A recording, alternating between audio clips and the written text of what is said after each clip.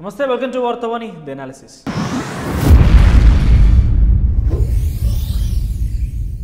ఒకప్పుడు ఉమ్మడి ఆంధ్రప్రదేశ్లో ముఖ్యమంత్రి ఆయన కాంగ్రెస్ పార్టీలో స్పీకర్గా వివిధ హోదాల్లో పనిచేసిన వ్యక్తి ఆయన.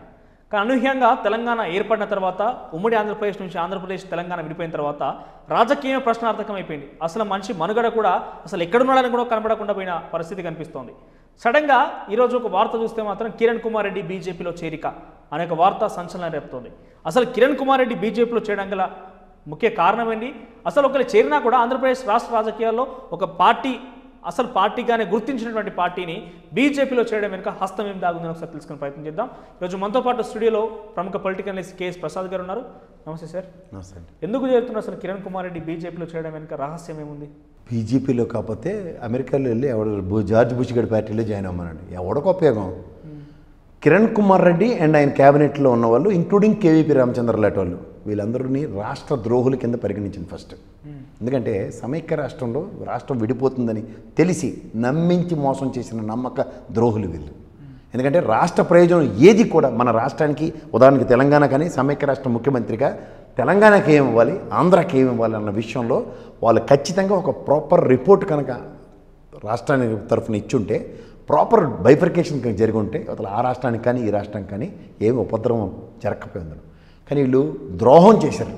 నిజంగా విభజించబడుతుందని తెలిసి కూడా నమ్మక ద్రోహం లాస్ట్ బాల్ సిక్స్ పడతానని చెప్పిన బ్యాచ్ వీళ్ళు వీళ్ళని ఎవరైతే కనికరిస్తారో వాళ్ళు నిజంగా చెప్తున్నాను వాళ్ళు అంత మోసపోయిన వాళ్ళు ప్రపంచంలో ఉన్నారు వాళ్ళందరూ ఆంధ్రప్రదేశ్ ప్రజలే.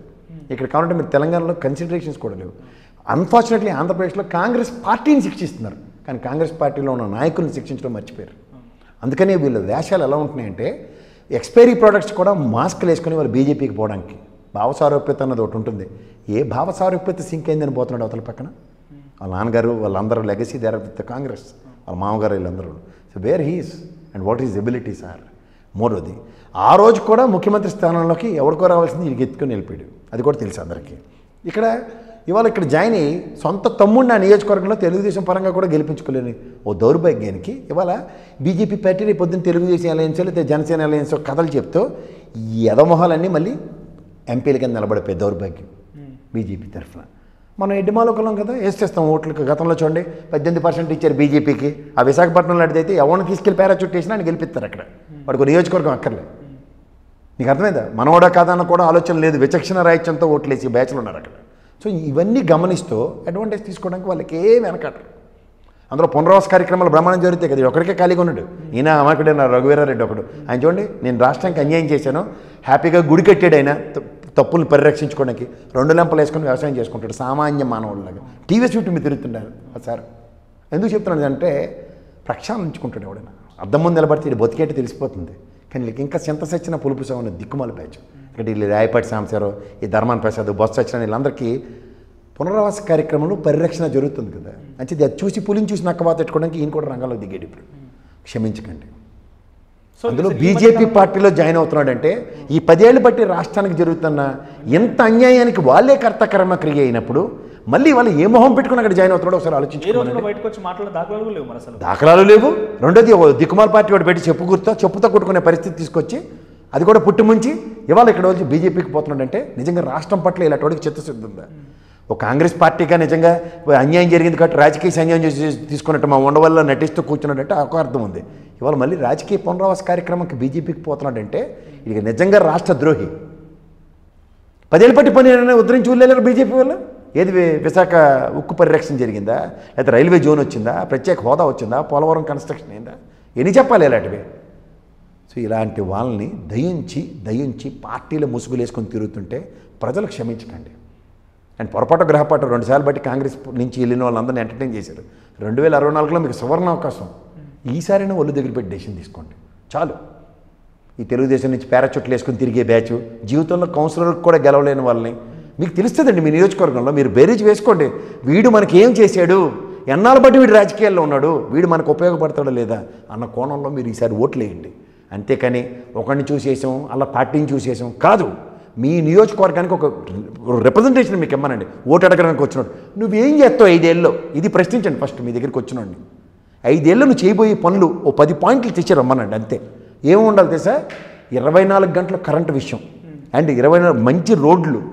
అండ్ వాటర్ సదుపాయం. ఇవే మనకు వాళ్ళు ఇచ్చేవి. ఇంతకు మించి వాళ్ళు ఏమి ఇచ్చి చచ్చిపోయేది ఉండదు.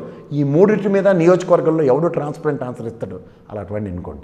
మిగిలిన మీకు అనవసరం. ఇప్పుడు కిరణ్ కుమార్ రాజకీయం చూస్తే సడన్గా ఇన్ని రోజులు పది సంవత్సరాలు ఎక్కడ కూడా ఆంధ్రప్రదేశ్ రాష్ట్రం గురించో అక్కడ సమస్యల గురించో లేకపోతే అక్కడ ప్రజలు పడుతున్న ఇబ్బందుల గురించి ఎక్కడ మాట్లాడిన దాఖలాలు ఉన్న పరంగా ఒకసారి వచ్చి బీజేపీలో చేరుతున్నా బీజేపీలో ఏమో రాజకీయం చేస్తానంటే సిగ్గులేని రాజకీయం అన్నాడు దాన్ని. ఓకే. సిగ్గు సరం లేని రాజకీయం కింద దాన్ని అభివర్ణించండి. ఎందుకంటే సిగ్గున్నోడు ఎవడైనా సరే సిగ్గుపడి ఇంట్లో కూర్చుంటాడు.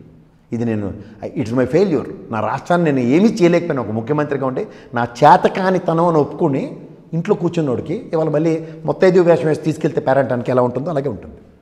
క్షమించకండి సార్ ఇలాంటి క్షేత్రస్థాయిలో నుంచి డెవలప్ చేయాలన్న తరహాలో పవన్ కళ్యాణ్ మనం బయటకు వచ్చి మాట్లాడి కదా. క్షేత్రస్థాయిలో భాగంగానే కిరణ్ కుమార్ రెడ్డి పోయిన అనుకోవచ్చు అంటే క్షేత్రస్థాయిలో. అంటే అంటే ఒక స్పీకర్ ఈ సన్నిధిలోని ఇంకో స్పీకర్ ఇప్పుడు బీజేపీ సన్నిధిలో వాళ్ళ నాన్నతో పాటు మా నాదెండ్ల మనోహర్లో ఉండి వీళ్ళిద్దరూ చేసే విన్యాసం ఏంటో చూద్దాం.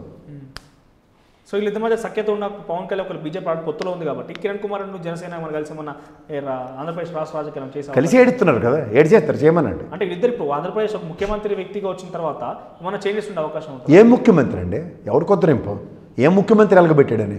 ఏం చేశాడని? అక్బరుద్దీన్ వయసుని తీసుకెళ్ళి జైల్లో వేసిన పాపానికి వాళ్ళ కాంగ్రెస్ పార్టీ అడుగు తిని పరిస్థితి తీసుకొచ్చాడు. ఇది మనోడు చేసింది. మొత్తం చూసి రమ్మంటే కాల్చి వచ్చిన బ్యాచ్ ఇది.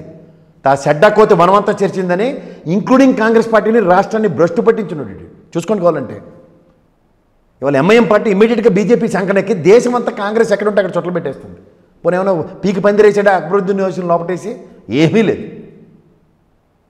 సో కిరణ్ కుమార్ రెడ్డితో ఆంధ్రప్రదేశ్ రాష్ట్రం కొరిగేది ఏం లేదంటారు వల్లకాడు. ఆల్రెడీ వల్లకాడు చేసిన వాడిని కాటికాపర కింద పెట్టుకుంటే అంతకన్నా ఇంకేం ఉంటుంది థ్యాంక్ యూ సో ఇది రోజు అనాలిసిస్ మొత్తం మీద కిరణ్ కుమార్ రెడ్డి రాజకీయం కూడా అర్థం కాని పరిస్థితిగా ఉంది. ఒక పది సంవత్సరాల కాలంగా ఆంధ్రప్రదేశ్ రాష్ట్రంలో ఎక్కడ కనిపించిన వ్యక్తి అనూహ్యంగా బయటకు వచ్చి బ్రేకింగ్ న్యూస్ ఇప్పుడు బీజేపీలో చేరబోతున్నాడన్నంత మాత్రం చూస్తే మాత్రం అసలు ఏం జరగబోతుంది అని ఒక సందిగ్ధత అయితే ఉంది.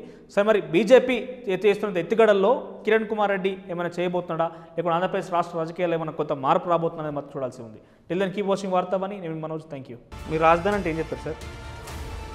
రాజధాని? ఎందుకు ఈ ఆలోచన చంద్రబాబు నాయుడు చేయలేదు? సార్ మరి అప్పుడు? ఇప్పుడు అంతా ప్రజల ప్రజలంతా అంగీకరిస్తేనే అమరావతి తీసుకొచ్చింది. ఆయన ఎన్ని భూములు కొన్నారో ఆ కోపం మీదనే మీరు రాజధాని మాకెందుకు? సార్ మీరు మంత్రి అయిన తర్వాత రెచ్చగొడుతున్నారా? ఇట్లా మాట్లాడాలని చెప్పి లేకపోతే ఈ రకమైన చచ్చిపోయి మాట్లాడాను.